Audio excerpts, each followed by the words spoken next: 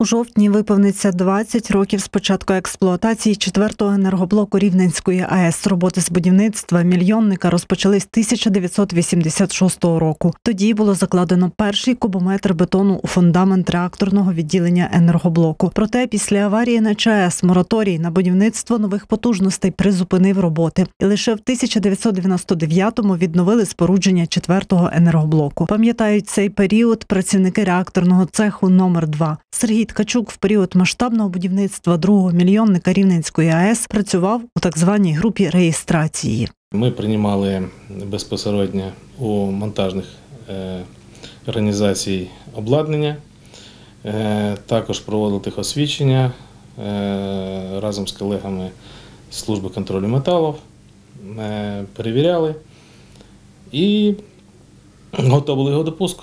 До виконання завдань працівників групи реєстрації був залучений тоді оператор реакторного відділення Роман Сташок. Робота заключалась в е, реєстрації обладнання згідно діючих нормативних документів. Це е, як обладнання, так і трубопроводи. Безпосередньо я приймав участь в реєстрації локалізуючих систем безпеки. Це був такий е, паспорт локалізуючих систем безпеки, один з найбільших. Працювали над ним майже півроку. З жовтня 2003 і в березні 2004 року цей паспорт був зареєстрований в Державній інспекції. Роботи було дуже багато, кажуть атомники. Стратегічне завдання з будівництва енергоблоку було в пріоритеті для всіх енергетиків Рівненської АЕС. Працювали ми так само, як і всі, без вихідних, і бувало по півтори-дві зміни. Була така робота в команді, допомагали один одному. Керівник Юрій Леонідович він також приймав безпосередню участь в пуску четвертого, четвертого блоку.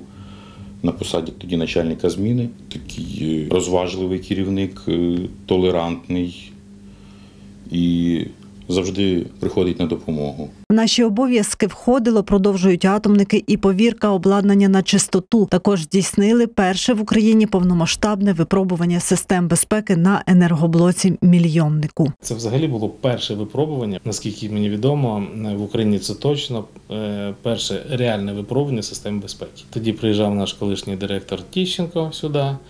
Е, Микола Абрамович Фрідман тоді був вже директором. Також вони приходили, дивилися. Ну це було дуже вражаюче. Увімкнення в енергомережу України ще одного блока посилило енергетичну безпеку і незалежність країни, зміцнило економіку держави.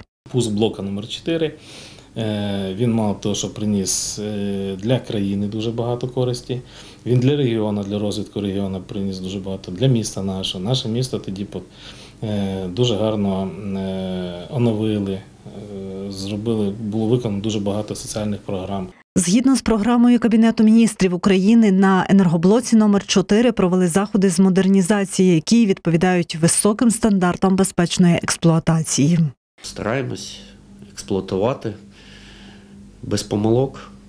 Для цього у нас розроблені програми з пошаговими кроками,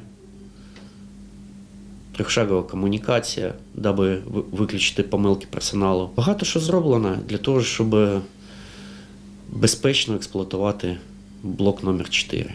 Сьогодні наше завдання, кажуть енергетики, продовжувати безпечно експлуатувати блок мільйонник і ділитись своїм досвідом з молодим поколінням атомників. Адже генерація електроенергії в умовах повномасштабного вторгнення це незалежність країни, це необхідні тепло та світло кожній домівці.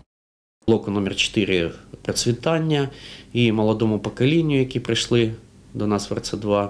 Е, Бажаємо, щоб вони успішно навчались. Це дуже важливо, особливо в даний час, коли йде війна.